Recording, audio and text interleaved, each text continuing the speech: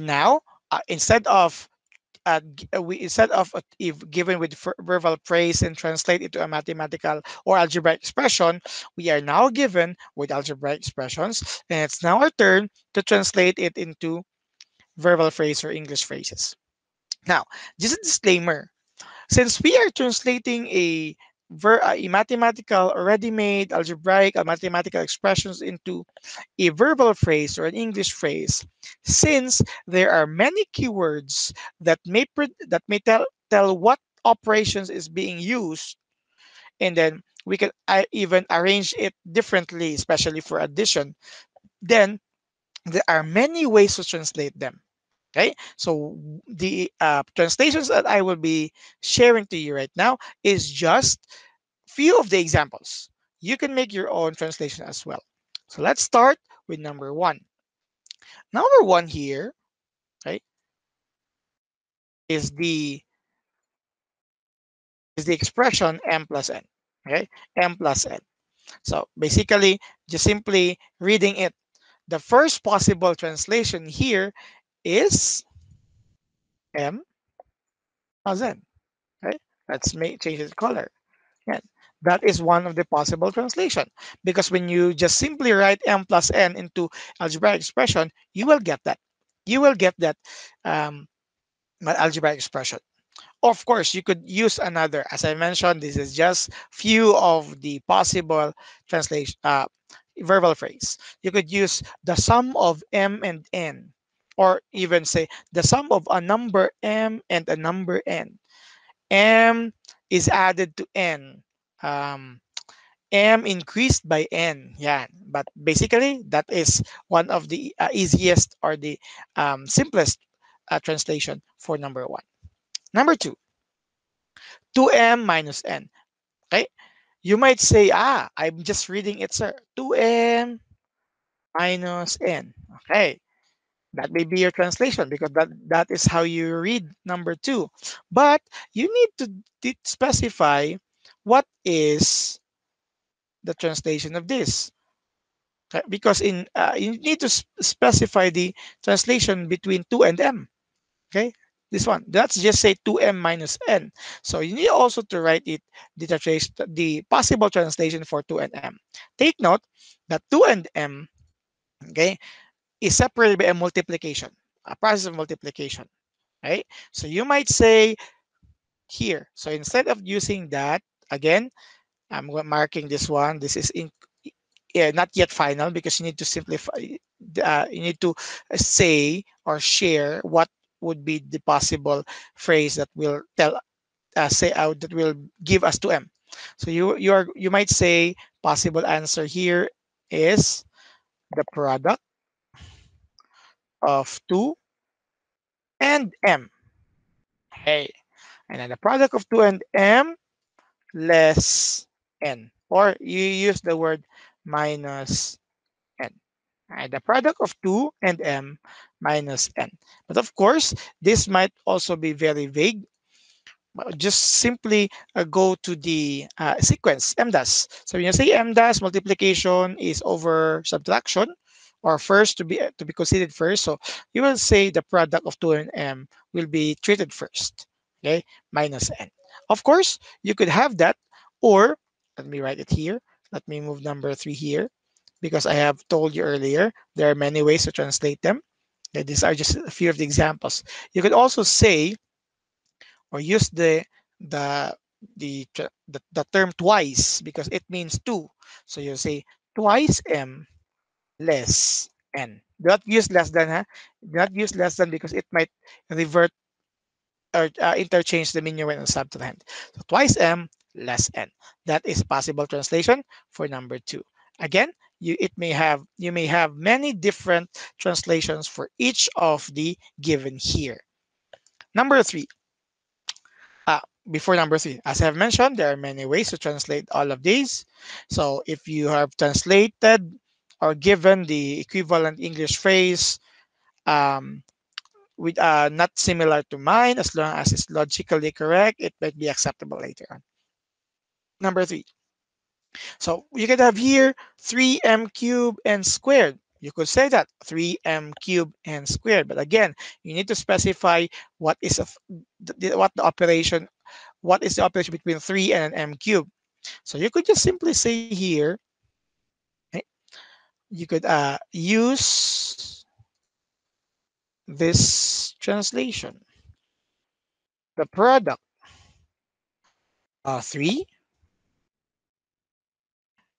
m squared or the square of m and sorry and n cube uh, by the way it's past tense because it's already has the symbol squared and m cubed. so you have that.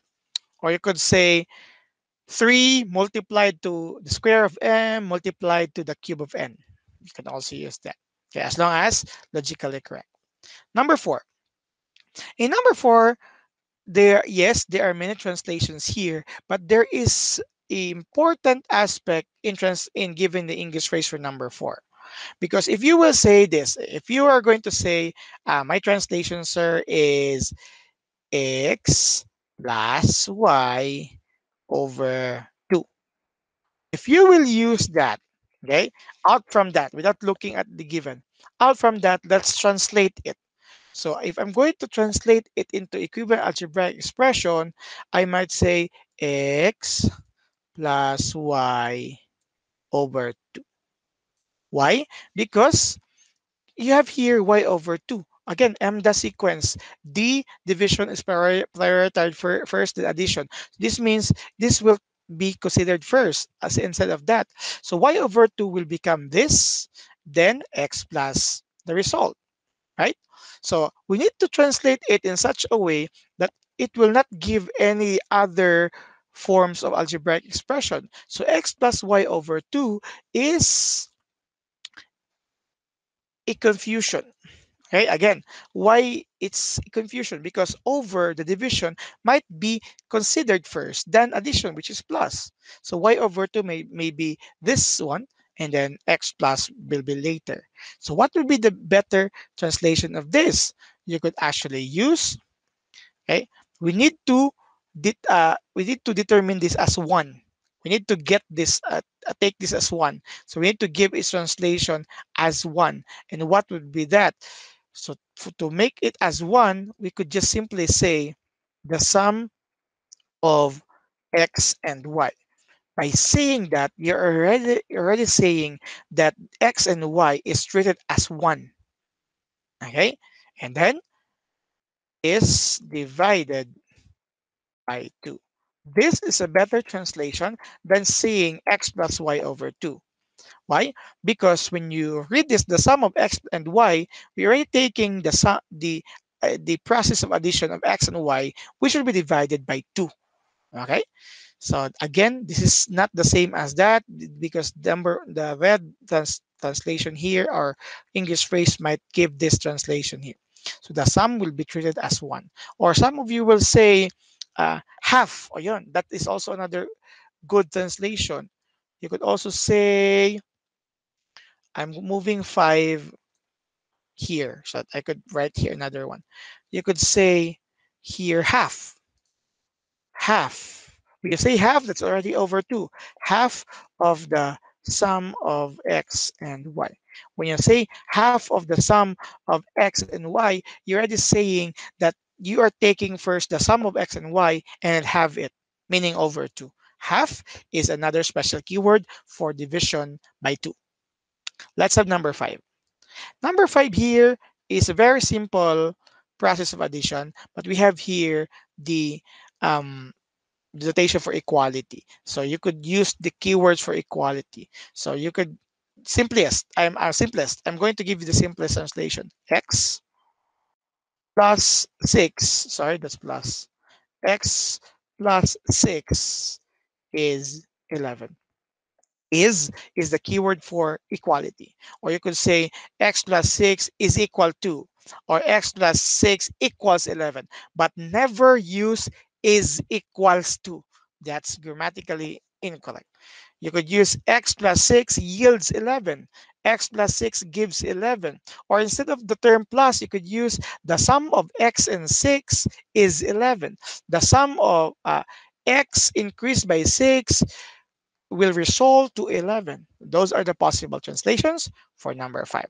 As I have mentioned, there are many different ways to give the English phrases of each of the following algebraic expressions because we have different keyword, many different keywords that may be used. As long as look at number two and number four, you need to specify the operations separating each of the terms and then make sure that when you try to rewrite the English phrase, it's like what happened in number four, rewrite the uh, the your English phrase in going back into mathematical expression, it should return to the given. If it will not, it is confusing.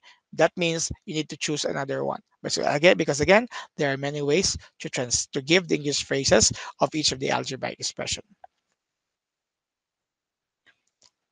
So this is now the last part or the second part of translations. So you need to master this, including the first video, so that when you reach problem solving later on, I'm not saying it will be very easy, but you might experience with ease. That's all. Goodbye.